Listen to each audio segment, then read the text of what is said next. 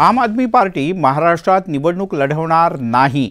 आम आदमी पार्टीचे केंद्रीय नेते संजय सिंह यांची एक पत्रकार परिषद झाली आणि यामध्ये त्यांनी ही माहिती दिली. मात्र अरविंद केजरीवाल हे महाराष्ट्रात प्रचारासाठी मात्र निश्चित येतील. विलेपार्ले किंवा मलबार हिल विधानसभा मतदारसंघात आम आदमी पार्टी लढण्याची शक्यता होती. मात्र या दोन्ही जागा ठाकरे गट लढणार. आहे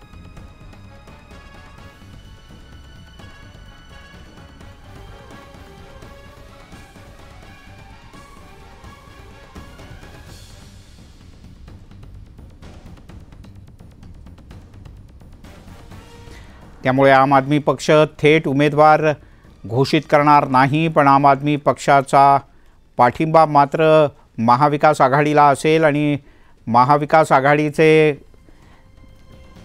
नेते ज्या ज्या ठिकाणी प्रचार सभेकरता आग्रह धरतील त्या त्या ठिकाणी अरविंद केजरीवाल हे विभागशहा काही प्रचारसभा घेणार असल्याचं कळतं. आम आदमी पक्षाचे नेते दिल्लीतले संजय सिंह यांनी हे स्पष्ट केलं आहे की आम आदमी पक्ष महाराष्ट्रात विधानसभा निवडणुकीत प्रत्यक्ष उमेदवार देणार नाही पण पाठिंबा असेल महाविकास आघाडीला.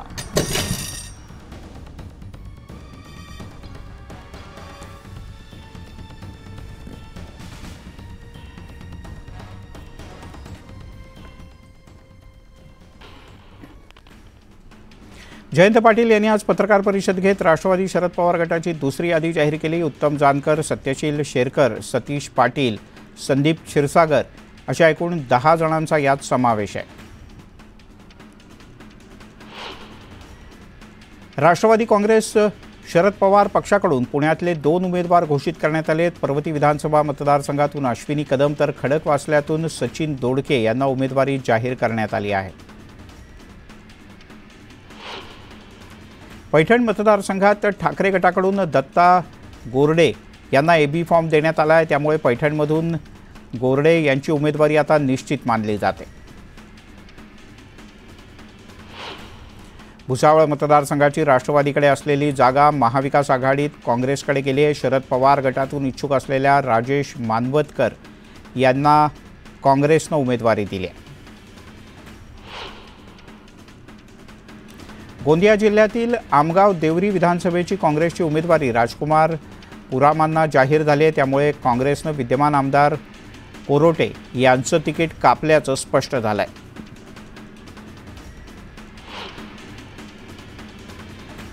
कैलास गोरंट्याल यांना जालना विधानसभेतून काँग्रेसनं पुन्हा एकदा उमेदवारी जाहीर केली आहे. गोरंट्याल यांनी पक्षश्रेष्ठींचे आभार मानले तसंच विकासाच्या मुद्द्यावर आपण ही निवडणूक लढवणार अशी माहिती गोरंट्याल यांनी दिली.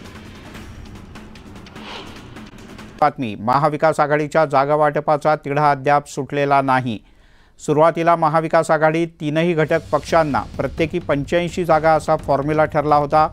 त्यावरील पंधरा जागांवर चर्चेनंतरही एकमत होत नाही आहे त्यामुळे महाविकास आघाडीतील प्रत्येक घटक पक्षाला नव्वद जागा अशा प्रकारचा फॉर्म्युला ठरला आहे असं काँग्रेसचे नेते बाळासाहेब थोरात यांनी शुक्रवारी जाहीर केलं होतं.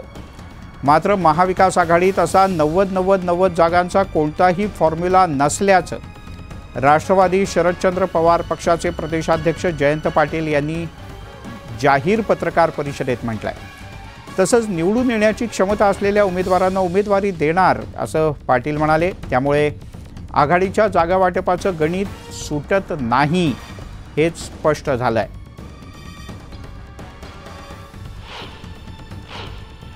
आता साधारण अठरा जागा आम्ही मित्रपक्षांकरता ठेवलेल्या आहेत. अठरा जागा ठेवलेल्या आहेत. आता त्यामधून किती मित्रपक्ष आता निर्णय पद्धतीनं वाटप होतंय ते पाहतोय आम्ही. मला वाटतं सर्व मित्रपक्षाला सुद्धा चांगल्या अत्यंत समाधानी करण्याचा प्रयत्न आमचा आहे. डिफाईचा जो फॉर्म्युला होता. तो आता नऊ नव्वद नव्वद झालेला आहे. नव्वद नव्वद नव्वद. सूत्र मेरिटनं चाललंय. नव्वद नव्वद अशा कुणीही संख्येवर अडून बसलेलं नाही आहे ज्या ठिकाणी ज्यांचा उमेदवार निवडून येईल त्याला प्राधान्य देण्याचं काम आम्ही करतोय. तिकडे राष्ट्रवादी शरदचंद्र पवार पक्षाची दुसरी यादी जाहीर झाली. राष्ट्रवादी शरदचंद्र पवार पक्षाचे प्रदेशाध्यक्ष जयंत पाटील यांनी पत्रकार परिषदेत ही घोषणा केली. धाराशिवमधील परांड्यात शरद पवार पक्षाकडून राहुल मोटे यांना उमेदवारी देण्यात आली आहे तर उबाठाकडूनही परांड्यात उमेदवार जाहीर झाला आहे रणजित पाटील यांना उबाठ्यानं उमेदवारी दिली आहे. त्यामुळे परांड्यातील उमेदवारीवरून महाविकास आघाडीत बिघाडी होण्याची शक्यता आहे. भूम परांडा भूम परांडाची जागा आहे. ज्यात एनसीपी ही आग्रही आहे आणि राहुल मोटेंनीही अपक्ष उमेदवारी आणि तिथून तुम्हीही एबी फॉर्म दिलेला आहे. त्या संदर्भात पक्षात आणि आम- आमच्यात आणि राष्ट्रवादी काँग्रेसमध्ये चर्चा सुरू आहे.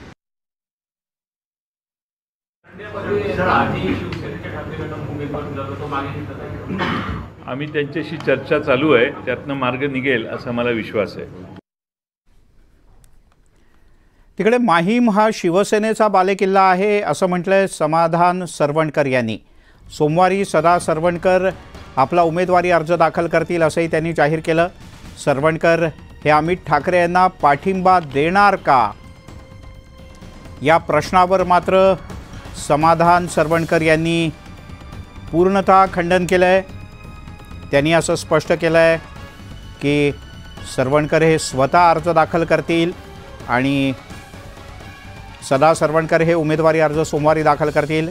त्यामुळे अर्ज मागे घेण्याचा विषयच नाही.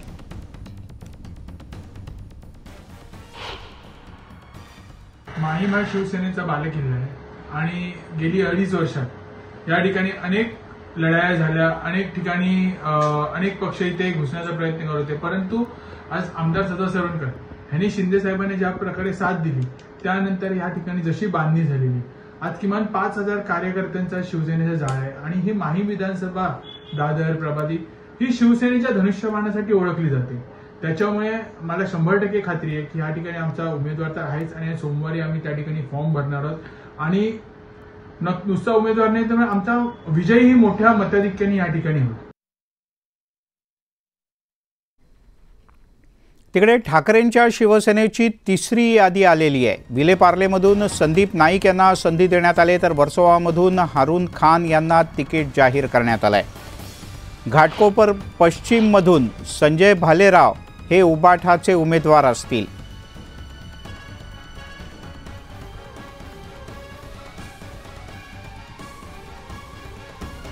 आम आदमी पार्टी महाराष्ट्रात निवडणूक लढवणार नाही. आम आदमी पार्टीचे केंद्रीय नेते संजय सिंह यांची एक पत्रकार परिषद झाली आणि यामध्ये त्यांनी ही माहिती दिली. मात्र अरविंद केजरीवाल हे महाराष्ट्रात प्रचारासाठी मात्र निश्चित येतील. विलेपार्ले किंवा मलबार हिल विधानसभा मतदारसंघात आम आदमी पार्टी लढण्याची शक्यता होती. मात्र या दोन्ही जागा ठाकरे गट लढणार. आहे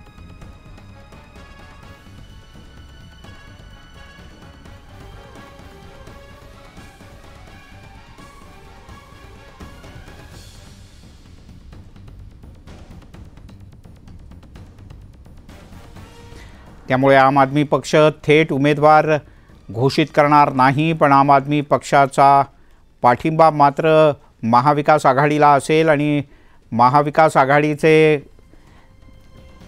नेते ज्या ज्या ठिकाणी प्रचार सभेकरता आग्रह धरतील त्या त्या ठिकाणी अरविंद केजरीवाल हे विभागशहा काही प्रचारसभा घेणार असल्याचं कळतं.